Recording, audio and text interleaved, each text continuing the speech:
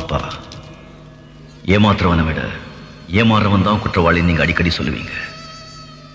நான் ஏமாத்துட்டேன்ப்பா இப்போ உங்க முன்னால குற்றவாளியா நிற்கிறேன்